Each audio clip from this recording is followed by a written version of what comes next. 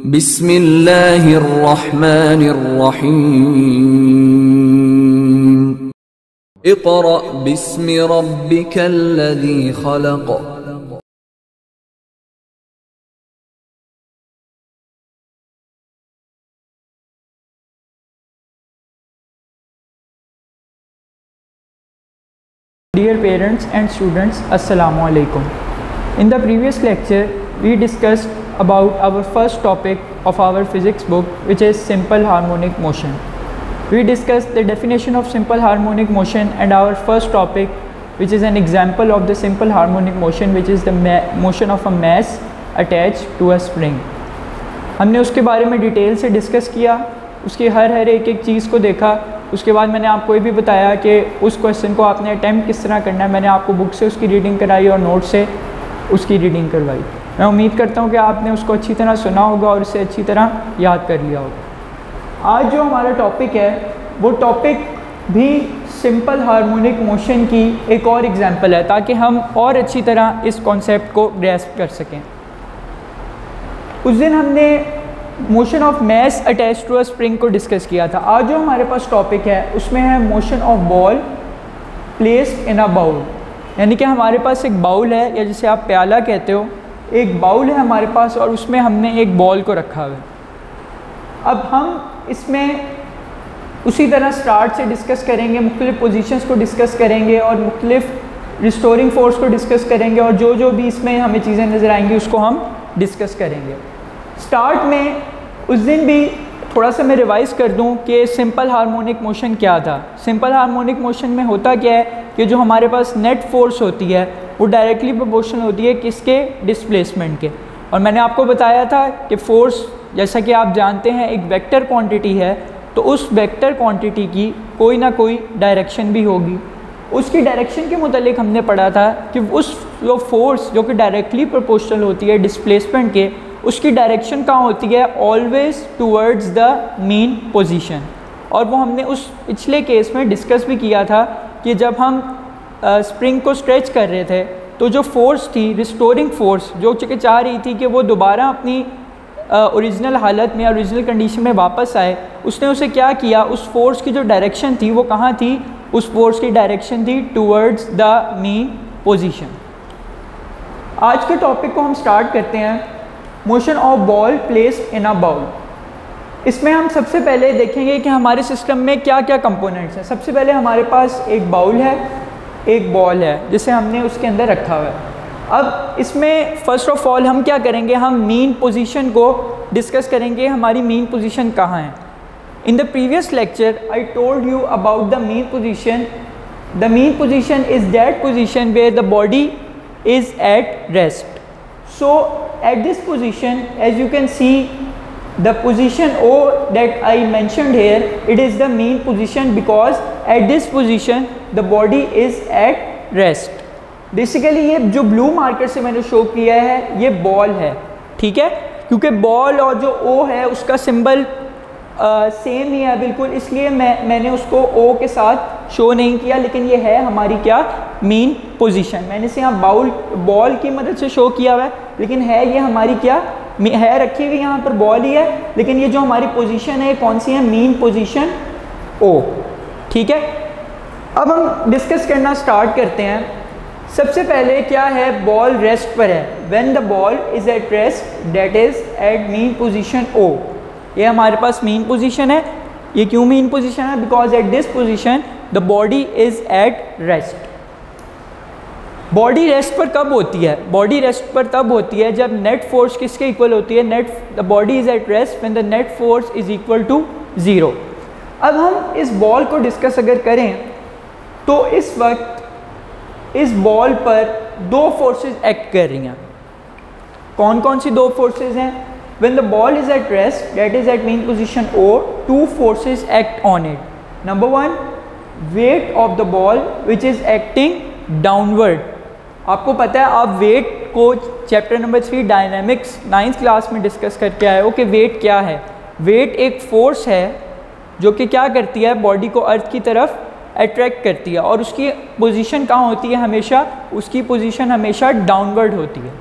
So in in this case there are two forces acting on this ball number one is the weight of the ball which is acting in the downward direction ये क्या है? हमारे पास weight of the ball है, जो कि उसकी direction क्या है? डाउनवर्ड डायरेक्शन है। नीचे की तरफ़ उसकी डायरेक्शन ठीक है? First is the weight of the ball which is acting downward the second force is the reaction force which is on the upward direction अगर आपको याद हो तो आप नाइन्थ क्लास में चैप्टर नंबर थ्री में ही टेंशन को डिस्कस करके आए हैं। टेंशन क्या थी? जो कि स्ट्रिंग को अगर हमने किसी ब्लॉक के साथ अटैच किया हो तो उस ब्लॉक के वेट की वजह से जो रिएक्शन फोर्स या अपवर्ड फोर्स स्ट्रिंग में प्रोड्यूस होती है, उसे हम क्या कहते हैं? टेंशन इन द स्ट्रिंग कहते हैं। और आपको पता है Newton's third law of motion क्या कहता है कि every action has a reaction so अगर मैं उस एग्जांपल को डिस्कस करूँ तो उसमें आपके पास क्या था? उसके पास, आपके पास एक स्प्रिंग थी, उसको आपने ब्लॉक के साथ अटैच किया हुआ था। उस ब्लॉक का जो वेट था, वो कहाँ पर था? इन द डाउनवर्ड डायरेक्शन और जो जिस सपोर्ट के साथ हमने उसे अटैच किया हुआ था स्ट्रिंग को, उस स्ट्रिंग में इस वेट की वजह से एक रिएक्शन फोर्स एग्जर्ट हुई, जिसे हम क्या कहते थे? टेंशन इन द स्ट्रिंग कहते थे। अब आप देख सकते हैं कि इस वेट की वजह से एक रिएक्शन फोर्स भी प्रोड्यूस हो रही है, जिसकी डायरेक्शन क्या है हमारे पास? जिसकी डायरेक्शन अपवर्ड है। So there are two forces acting on this ball number one is the weight of the ball which is acting downward and number two is the reaction force which is on the upward direction ठीक है? अब आपको पता है कि अगर दो forces हों हमारे पास और उनका मैग्नीट्यूड सेम हो और डायरेक्शन ऑपोजिट हो तो वो दोनों फोर्सेस अपने इफ़ेक्ट को क्या कर देती हैं? कैंसिल आउट कर देती हैं। जैसे आप इस सिस्टम में देख सकते हैं, इस सिस्टम में भी देख सकते हैं कि वेट डाउनवर्ड डायरेक्शन में और रिएक्शन फोर्स अपवर्ड डायरेक्शन में। दोनों एक की डायरेक्शन अपवर्ड और एक की डायरेक्शन डाउनवर्ड जब ऐसी दो फोर्सेस जिनकी डायरेक्शन ऑपोजिट हो और वो मैग्नीट्यूड में सेम हो तो क्या करती हैं? एक दूसरे के अफेक्ट को कैंसिल कर देती हैं। अब नेट फोर्स मैंने आपको बताया था कि नेट फोर्स क्या होता है? Sum of all forces acting on the body अगर मैं इस सिस्टम में नेट फोर्स निकालूं तो वो क्या निकलेगी? एक फोर्स होगी reaction force which is on the upward direction जिसे मैं आर एफ़ से शो करता हूँ। और एक फोर्स मेरे पास होगी डब्ल्यू जो कि वेट ऑफ़ द बॉल है जो कि किस डायरेक्शन में एक्ट कर रहा है? इन द डाउनवर्ड डायरेक्शन में एक्ट कर रहा है। सो दिस फोर्स को जब मैं ऐड करूँगा तो मैं इसके साथ नेगेटिव साइन लगाऊँगा। वो नेगेटिव साइन मैं क्यों लगाऊँगा? नेगेटिव साइन मैं इसलिए लगाऊँगा क्योंकि नेगेटिव साइन आपको पता है फिजिक्स में किस चीज़ को शो करता है? डायरेक्शन को शो करता है। सो so, वेट अगर हम रिएक्शन फोर्स की बात करें तो वो अपवर्ड है और जो वेट ऑफ़ द ब्लॉक है उसकी डाउनवर्ड है, इसलिए हम उस फोर्स के साथ नेगेटिव साइन लगा रहे हैं विच शोज़ द डायरेक्शन अगर इन दोनों फोर्सेस का मैग्नीट्यूड सेम होता है फॉर एग्जांपल रिएक्शन फोर्स का भी 5 न्यूटन और वेट भी उस बॉडी का क्या है? 5 न्यूटन सो नेट फोर्स हमारे पास क्या आ जाएगी? नेट फोर्स हमारे पास ज़ीरो आ जाएगी. सो so, इस वक्त बॉल रेस्ट पर क्यों है? बॉल इस वक्त मेन पोजीशन पे रेस्ट पे इसलिए क्योंकि दोनों जो फोर्सेस उस पर एक्ट कर रही हैं number one is the weight of the ball which is acting in the downward direction number two is the reaction force which is on the upward direction वो दोनों की डायरेक्शन ऑपोजिट है और वो दोनों एक दूसरे के अफेक्ट को क्या कर रही हैं?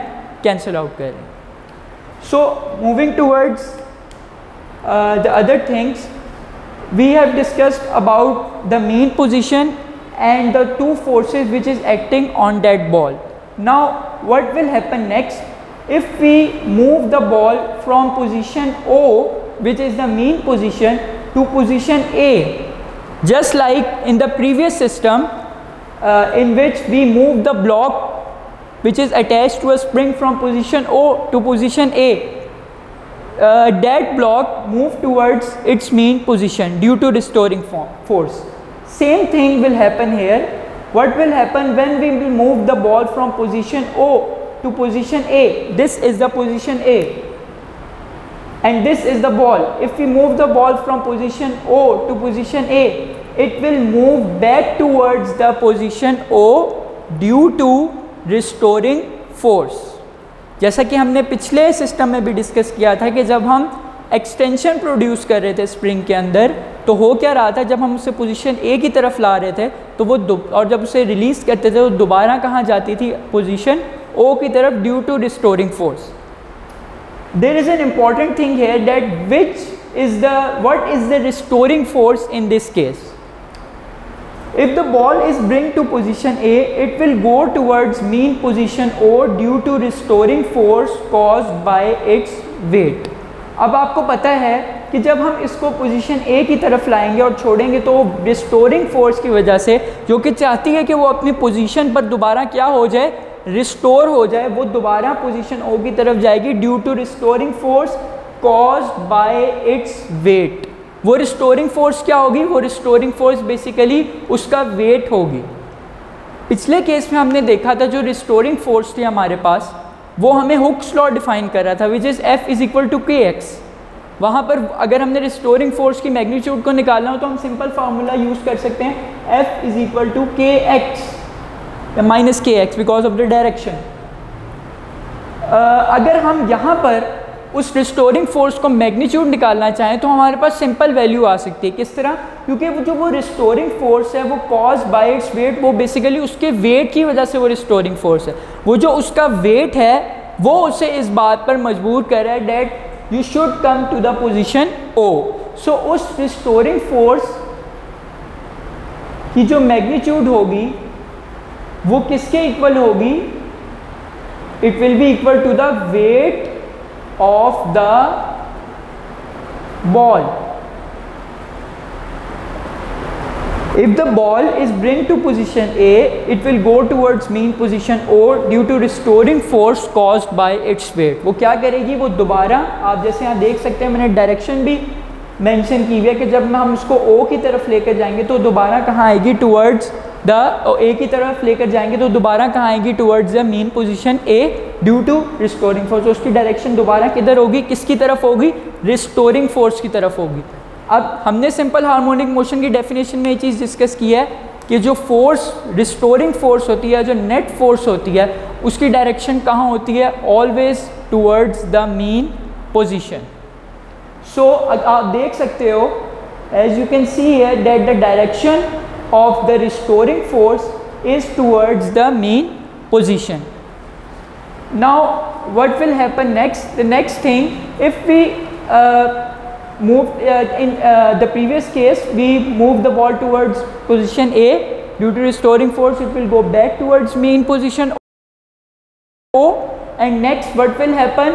As in the previous case due to inertia due to inertia which resists the body to continue its states of its state of motion or rest inertia क्या करेगा? इनर्शिया उसे इस बात पे मजबूर करेगा कि वो अपने रेस्ट पर, इस मेन पोजीशन ओ पे दोबारा रेस्ट पर ना आए, बल्कि अपनी मोशन को क्या करे?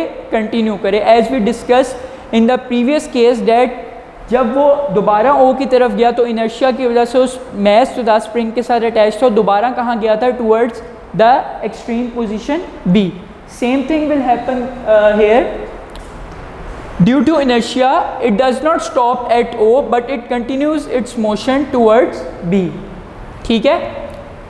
क्योंकि इनर्शिया ने उसको रिजिस्ट किया कि वो मोशन को आ, अपने रेस्ट को रेस्ट की स्टेट में ना आए और अपने मोशन को कंटिन्यू करे towards the extreme position B which is mention here now at B the speed of the ball decreases and it will move towards O due to restoring force now what will happen next When the ball move towards the extreme position B, again the restoring force caused by its weight will act on it.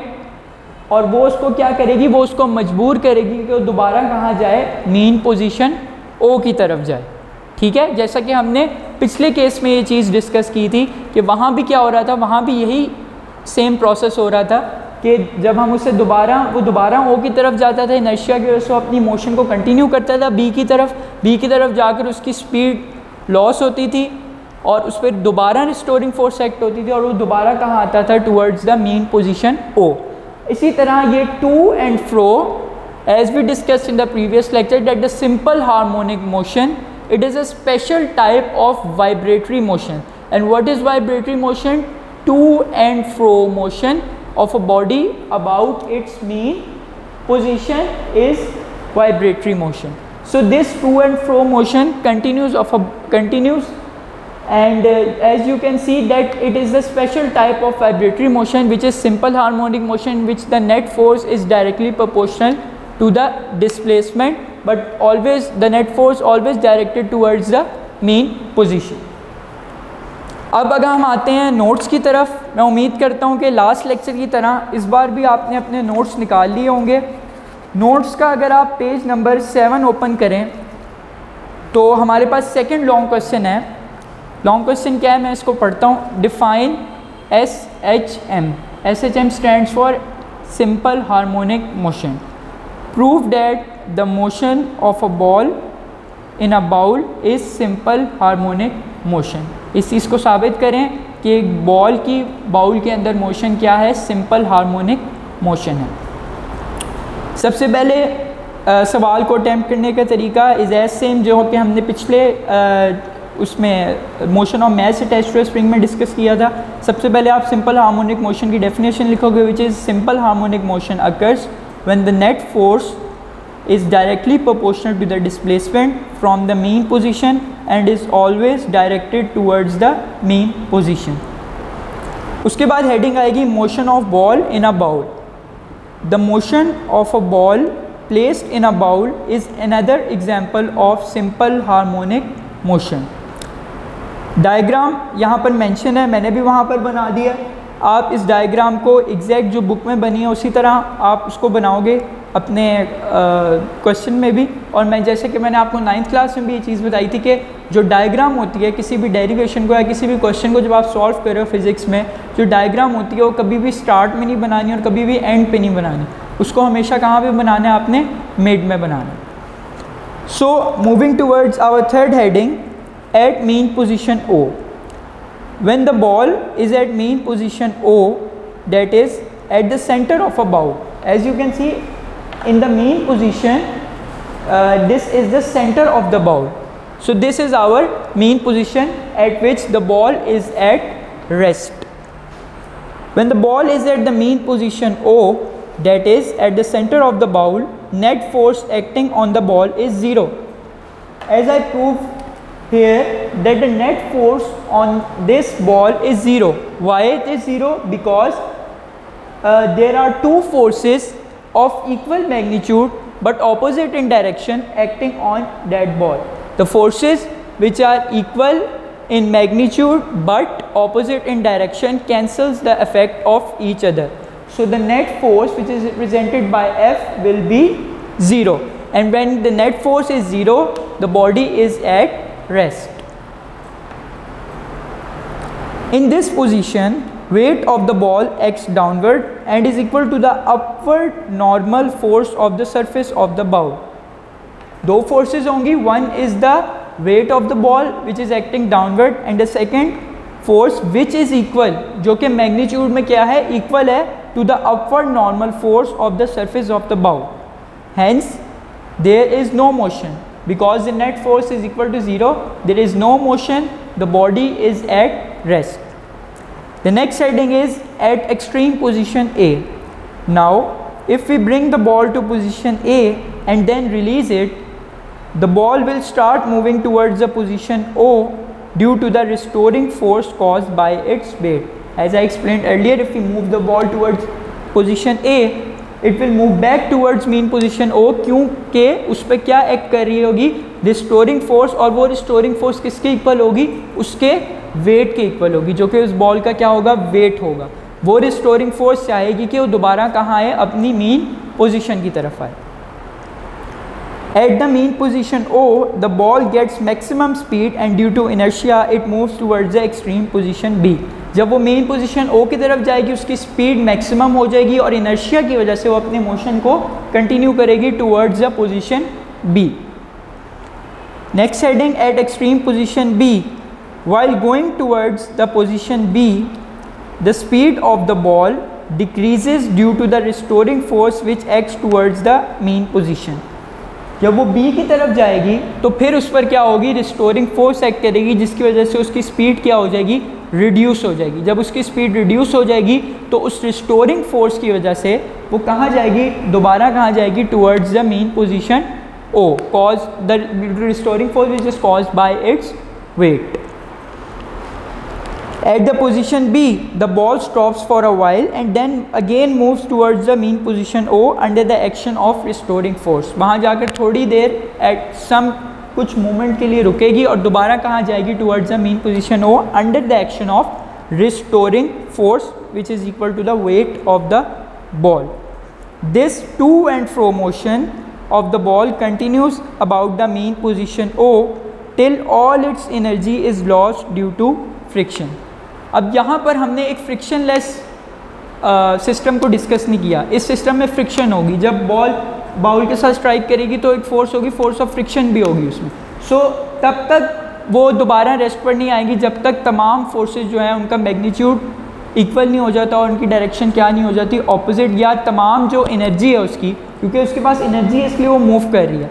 So so, तमाम energy जब तक friction की वजह से loss नहीं हो जाएगी तब तक वो क्या करती रहेगी? अपने टू एंड फ्रो मोशन को कंटिन्यू करती रहेगी। जब वो एनर्जी उसके पास फ्रिक्शन की वजह से ख़त्म हो जाएगी जो कि स्टार्ट में उसे मिली थी तो फिर क्या होगा?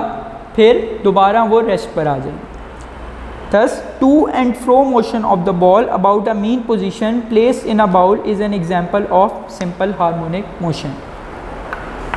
ये आज का हमारा टॉपिक था। ये सेकंड लॉन्ग क्वेश्चन है इस चैप्टर का और ये बोर्ड में एक दो दफ़ा आया हुआ भी है तो इसलिए आपने इसको अच्छी तरह से प्रिपेयर करना है। इसमें अगर आपको कोई भी क्यूरीज हों, कोई भी कॉन्सेप्ट समझ में ना आ रहा हो तो आप एकेडमी के और स्कूल के व्हाट्सएप नंबर पर टेक्स्ट मैसेज या वॉइस मैसेज भेज सकते हैं। इन जो भी आपके क्वेश्चन होंगे, उनको हम अगले लेक्चर में के शुरू में एड्रेस करेंगे। मेरी तरफ़ से अल्लाह हाफ़ थैंक यू सो मच